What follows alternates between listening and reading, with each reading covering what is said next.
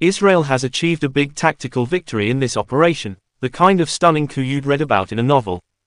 Undoubtedly, it is a disgrace for Hezbollah, which will raise their nervousness and lower their morale. However, Israel faces a potentially major strategic disadvantage since, although humiliating the powerful Lebanese militia and political movement, it fails to discourage them.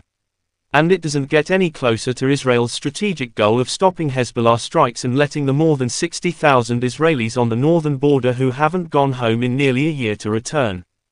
The Israelis have employed a significant, bold weapon that is plainly highly effective in their context. However, Al Monitor, a respected Middle Eastern newsletter, states that they were unable to use it as intended. According to the initial plan, Israel intended to respond with deadly attacks while Hezbollah was still suffering. According to sources, the pager attack was intended to be the first salvo of a major escalation, maybe as part of an operation or invasion of southern Lebanon.